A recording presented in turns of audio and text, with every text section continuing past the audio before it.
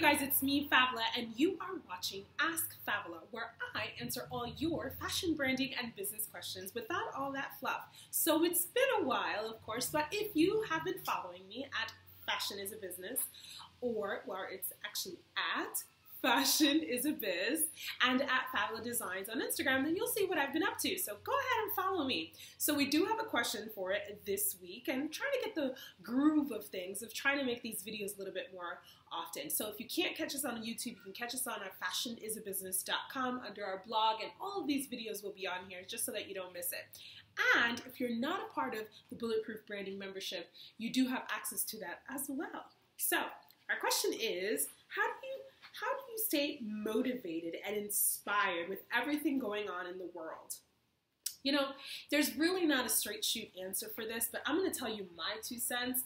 And um, I would think I would break it up into three. So the first one would be routine. Add a motivating routine. Do you meditate? Do you chant? Do you do something in the morning? Do you pray? Do you take some time for yourself to really think and really understand your thoughts and really just dive into what inspires you for the day? Adding a routine for meditation or even just thoughts or prayer really creates a silence method mechanism that you're within yourself and you can really listen to those dreams and you can even inspire yourself by actually thinking uh, what you aspire to be or where do you see yourself. It's kind of like back in the days when you were watching Disney World and you're like, I want to be a little princess. I want you to remember that same feeling and how you can sit with yourself and say, I see myself on this fashion week, or I see myself selling to four different buyers this week. Everything is all about perspective. So start a routine because that routine could lead to making your dreams come true.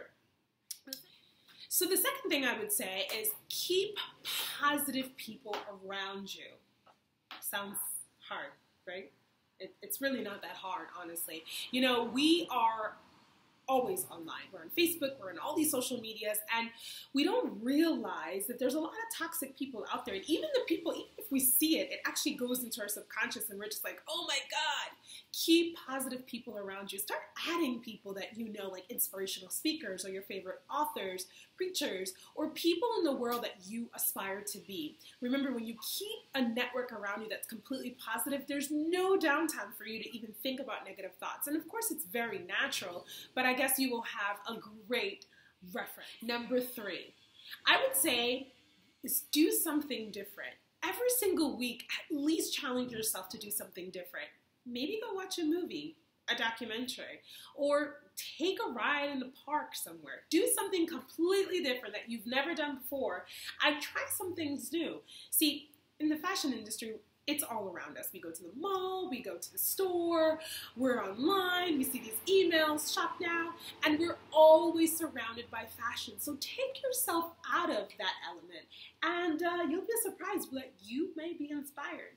So that is all the questions. If you have any questions, go ahead and email us at branding at fashionisabusiness.com.